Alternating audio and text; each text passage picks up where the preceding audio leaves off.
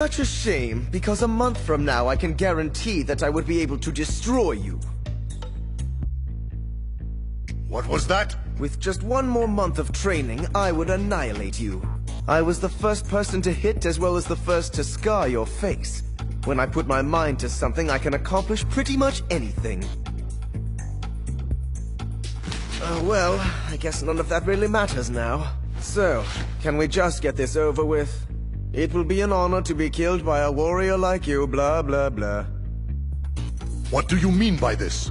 Now I'm sick and tired of all this talking. Just hurry up and make it painless, Wamuu. Explain yourself. What are you trying to get at?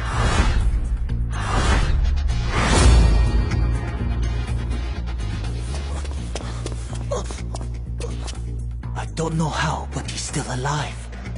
Is it true that you pillar men often live for millennia? That's a long time to be walking around with the shame of having your face rearranged by a lowly human. It seems to me that the only way you could regain your honor would be by defeating me in a fight after I've undergone proper Hamon training.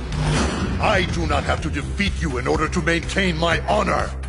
His entire body is shaking with rage. I have a chance if I can make him think his integrity is at stake. He gave himself away as the proud warrior type the moment he called me a coward. Pride is his Achilles heel. I don't know if you noticed, but I'm still new at this. However, if I trained with my Hamon for a month, I know I could give you the fair fight a warrior like you deserves. The first person who ever hit you in the face gave you a nasty scar. It would be a shame if you killed that person before he's worthy. But if you feel the need to kill me before I have a chance to battle you as an equal, then go ahead and do whatever you need to do. You bastard!